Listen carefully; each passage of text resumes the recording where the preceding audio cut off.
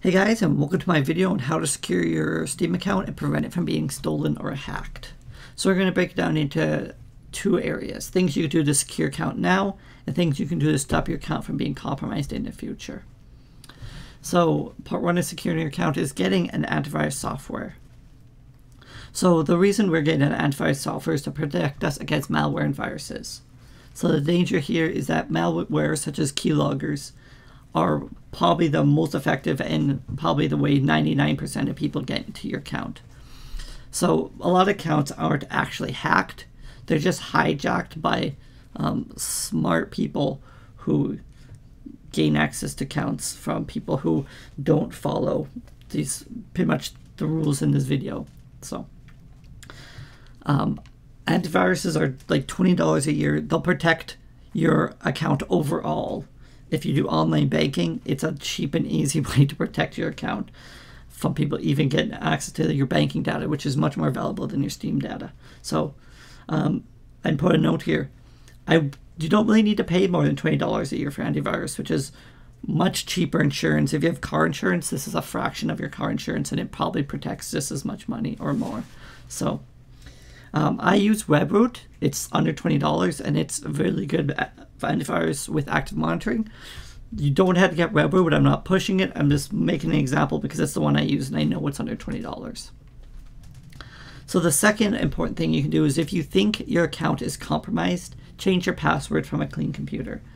Um, the reason we say from a clean computer is because if your account is, if your computer is compromised and you change the password, you've just given them the new password after you change it. So the goal here is to prevent users from getting access to your account.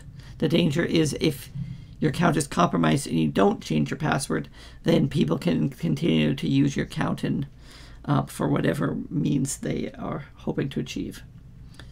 Um, and just a note here, even if you have two-factor identification, it is still in your best interest um, to change your password and to keep your password private because your account is at risk if it remains um, with the password compromised. The third thing you can do to secure your account is to deauthorize all other devices you're not using. So, although it's a long shot, someone could pick up one of your old devices and use it to access your Steam account. Um, so, you don't really benefit from keeping old devices on your account. So, you may as well only have the devices you're actually planning to use on your account. So the goal here is to prevent people from logging into your account using your old device. And a security breach is that someone can bypass your two-factor authentication if they have that device. Lastly, um, if you're using backup codes um, for your Steam Guard mobile app, keep them in paper format and not digitally on your computer.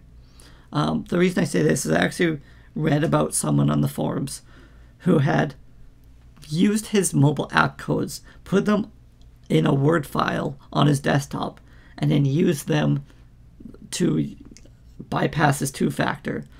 But basically, someone got access to that Word document, then had his all his mobile app codes, so they could they got into his account and stole all his stuff. And he was arguing that they shouldn't even have that available. So if you're going to use the service, be smart about it. So our goal here is to prevent users from bypassing your two-factor through compromised codes. Um, and the danger is you're essentially subverting your own two-factor um, by not following um, smart protection. So, and in a note here: if you think your codes are compromised, you can revoke them and create new ones, so that the mobile codes can be revoked at any time, and then they can no longer be used. Feel free to to remove them and get new ones on a timely as often as you would like.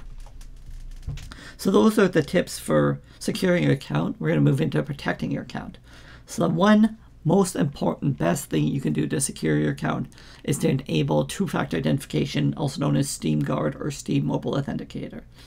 So it's essentially an extra layer of security um, because whoever wants to hijack or hack your account must have your mobile phone and I'm saying your personal mobile phone. Um, there are ways around this, but again, it's a lot of work and they're probably not going to do it just to get into your Steam account. So anyway, The goal here is to prevent individuals from gaining access to your account even if they have your username and password. The danger is if you don't have two factor, someone who gets your username password can log into your account and do whatever they want. Um, and just a note here because I hear about this all the time. Steam, Valve, or any other party will not ask you for your Steam Guard code. So you do not need to give them your Steam Guard code if someone asks for it. If someone is asking you to send them your Steam Guard code, the reason they want it is so they can get into your account. There's no other reason um, for anybody other than yourself to use your Steam Guard code. And you should also not use your Steam Guard code to log into anything but your account through the Steam website if you're trying to go on a third party website and they ask you for your Steam Guard code, they only want it to get into your account. Okay, moving on. Um, this is a big one and it works for any website. Um, create a unique password for related sites. So that doesn't mean you have to have a new password for every site, but if two sites are related, you should have two different passwords. Um, and make sure to change your passwords occasionally for important sites. If it's a forum and you're not worried about it, you don't have to change the password, but like your bank account, your Amazon account, your Steam account, might not be a bad idea to change the password occasionally. So the goal here is to prevent individuals from gaining access to your name, name and password from the same account used. The danger is when signing up for a site, you often give away all your account details if you sign up for that site because the registration will ask you for like your username, your email, and your password. Okay, for example, I want to log into um, Bob's Steam community because all my friends are on Bob's Steam community. So I make my username in Bob's Steam community, which is a third party website. And my Steam name is Bob and my password is 123 password. Okay. So I make my account on Bob's Steam site and I'm put in my username Bob, and I use the same password as my Steam account 123 password. And then I even include my email, which also has the password 123 password. So now I've just given the you whoever owns Bob's Steam site can now log into my Steam account and my email because I've basically given him all my login details by making an account on his site. So hopefully this is clear. Hopefully you understand my meaning. Um, but um, vary your passwords a bit and you'll have much more success with them than using the same password for everything. This is a big one you see quite often. It's one of the easiest ways people can use to hijack your account. Um, using unauthorized third-party sites.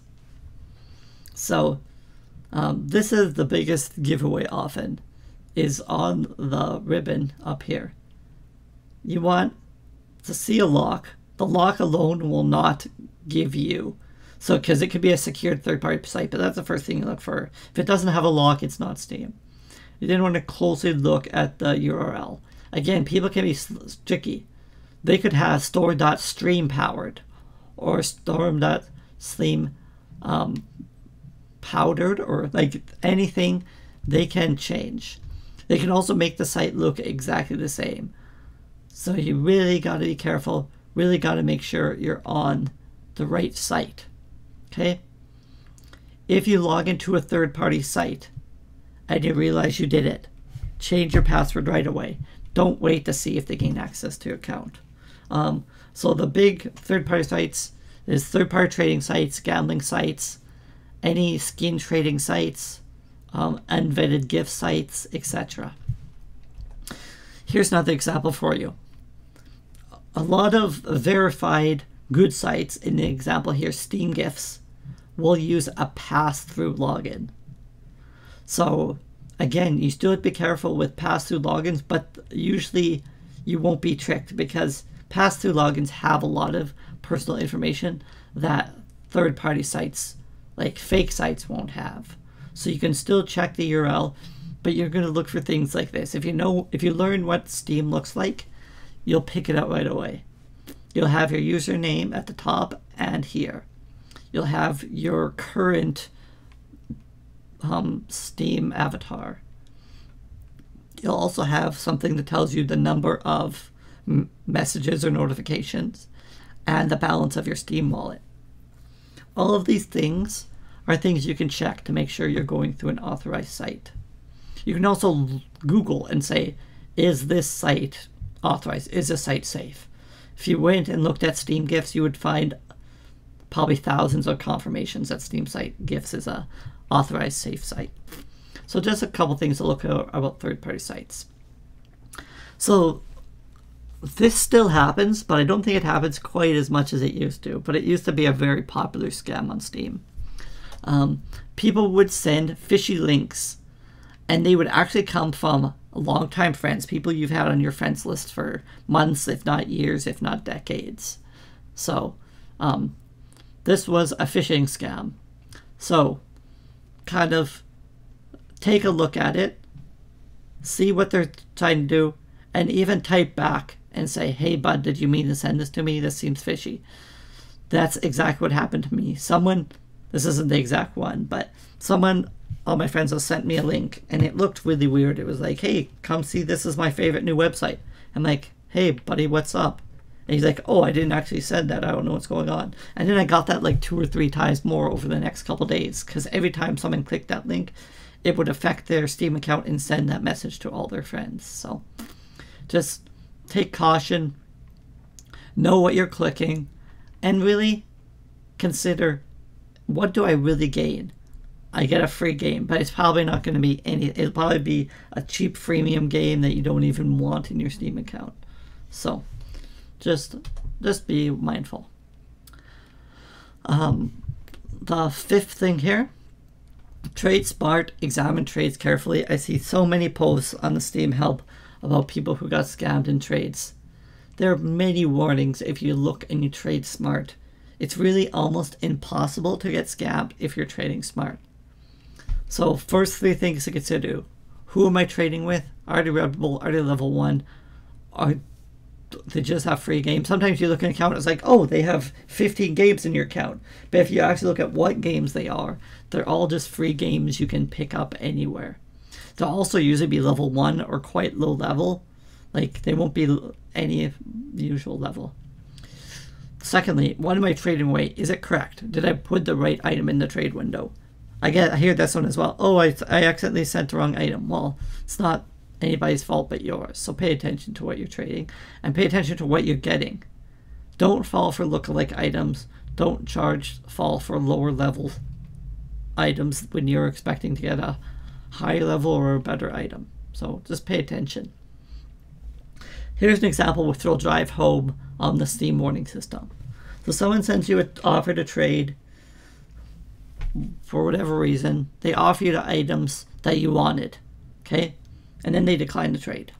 Then they re-offer you a trade again. The account that's re-offering you has the same name and looks the same as the previous one. So you offer your item and they confirm the trade without adding their item you will then get to say these following warnings. Okay? The user is not in your friends list. The user has a similar name to someone in your friends list. You will receive nothing. So what happened is they did an obvious bait and switch with you. They offered the trade with with a with a vetted account and then they used a fake account to make a trade with you. This happens. People do it all the time. And even though this says you will receive nothing, people still confirm the trade because they're not paying attention. They think that whoever it was is being honest and is giving you your stuff. Okay? These warnings are in place to alert you that something is going on. Heed the warnings, examine each trade partner carefully, um, and be smart with your trades. So that's all I have for you guys. I hope this was insightful and helped give you some tips on what you can do to protect your account. Um, if you want to learn how to recover your account if it was lost, stolen, or hacked, you can check out my video here. Otherwise, I wish you all the best, and I'll see you in the next video. Later, guys.